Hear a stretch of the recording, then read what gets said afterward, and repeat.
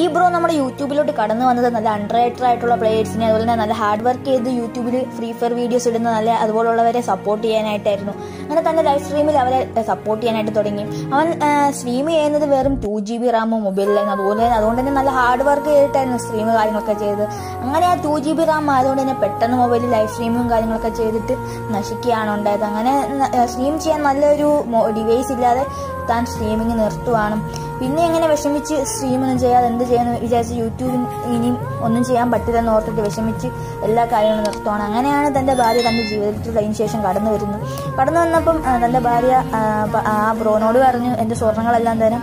അത് വിറ്റിട്ട് എന്തൊക്കെ സ്ട്രീം ചെയ്യാൻ എന്തൊക്കെ മേടിക്കാൻ പറ്റുമോ അത് മേടിച്ചിട്ട് സ്ട്രീം ചെയ്യാൻ. അത് ആദ്യമൊന്നും വേണ്ടെന്ന് പറഞ്ഞു. പിന്നീട് അത് വെച്ച് സ്ട്രീം നല്ല സ്ട്രീമിംഗ് പി സി കാര്യങ്ങളൊക്കെ മേടിച്ചിട്ട് സ്ട്രീം ചെയ്ത് ഇപ്പം അറുപത് കെ സബ്സ്ക്രൈബേഴ്സ് കഴിഞ്ഞിട്ടുണ്ട്.